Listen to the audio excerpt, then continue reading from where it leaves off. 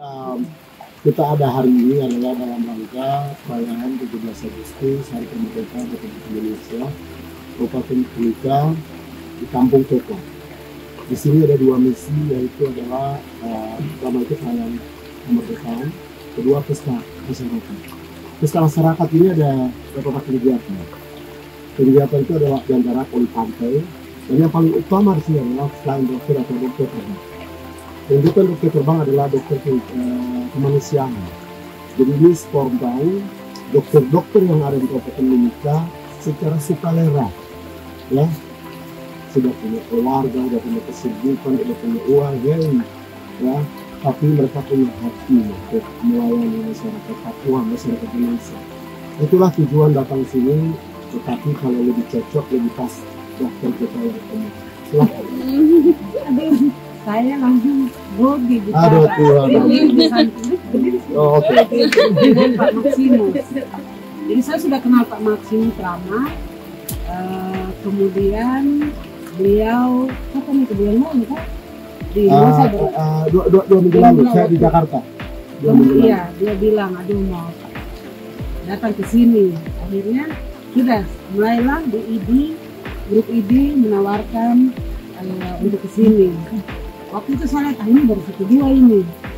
Akhirnya sudah saya buang suara dan puji Tuhan hari ini ada 12 teman dokter sejawat yang bisa datang melayani sama-sama di masyarakat Kekwa khususnya di tanggal 17 Agustus ini. Harapan ke depannya bahwa eh, kita bisa melakukan pelayanan di tempat-tempat lain. Karena masih ada tempat-tempat lain yang keadaan masyarakatnya mungkin jauh lebih Kekwa sebenarnya sudah oke kelihatannya. Tapi masih banyak daerah misalnya wilayah Mimika Timur jauh. Kondisi di sana jauh lebih memprihatinkan. Jadi ya ini satu tantangan buat kita para dokter untuk bisa memberikan waktu, memberikan hati, bagi ilmu kita untuk sesama yang belum sudah tersentuh tapi belum maksimal. Jadi ya harapan kami dengan ajakan Pak Maksimus hari ini bisa memperluas jangkauan pelayanan. Kita buat di Timika dulu, kemudian nanti baru ke mana-mana. Karena di tempat inilah kita hidup, kita bekerja dan memulai pelayanan kita. Kira-kira seperti itu.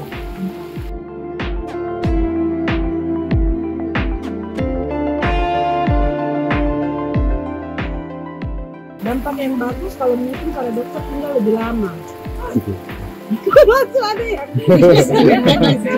Tetapi itu bisa kita atur dalam regulasi, Oh, kebijakan dan sebagainya. Eh, ada teman-teman dokter juga yang dari tim lain, eh, dokter Ica misalnya dulu sudah melakukan pelayanan di daerah pesisir.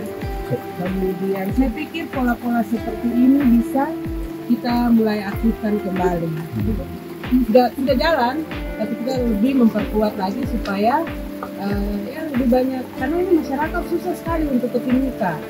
Dong tidak ada uang untuk bayar bensin untuk pergi ke Timika. Siapa tahu nanti misalnya di Kokonau ada pusat pelayanan kesehatan. Misalnya orang sakit kita bisa angkut dengan ambulans laut. Atau misalnya ada chopper yang bisa bawa ke Timika. Papua, Papua- apa provinsi Papua Tengah loh, eh? kan bisa diatur semua. Nah, Pak Maksimus tugasnya ini kita support dia. Bukan, bukan, bu, maksudnya gue yang ngatur kok. Saya, saya akan alasan. ya. Ya sudah. Jadi kalau anda ke Papua, ngopi dulu. Jadi di sini itu kelebihannya udah terlalu banyak di sini. Sudah ada dokter, ya, sudah ada upacara di sini, sudah ada resort sini, sudah ada nasi.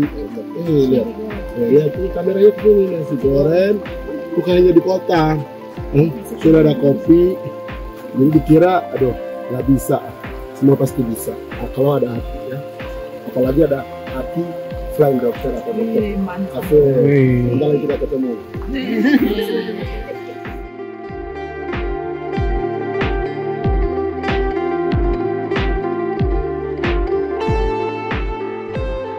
Kayak gue memang sih udah bagus ya. Tambahin lagi ada resort kayak gini makin bagus. semoga lebih gampang dijangkau sama orang. Oh, tempatnya indah, kaget sampai nggak bisa ngomong apa-apa.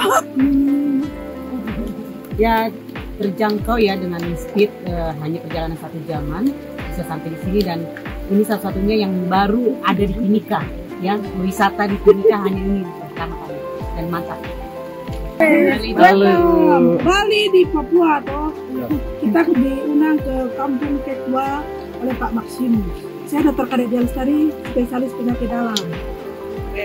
Di sini bagus ternyata pemandangan laut eh, sama cottage-cottage ini nuansa-nuansa begini yang kita disukai oleh ekspatriat Pak. Jadi kita nanti lihat prospek kerjasama mungkin Dr. Kapolres ke sini. Semoga berkembang Papua.